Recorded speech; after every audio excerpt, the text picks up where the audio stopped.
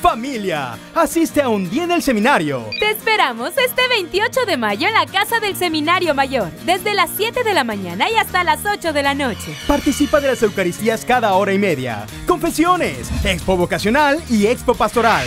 Habrá también platillos de todo el estado y un programa cultural, la elección de la señorita Kermés 2017. Además, juegos mecánicos, áreas recreativas para niños, cine, conferencias, música para bailar y muchas sorpresas más. Para mayor información, busca en nuestras redes sociales o pregunta en tu parroquia. ¡Te esperamos!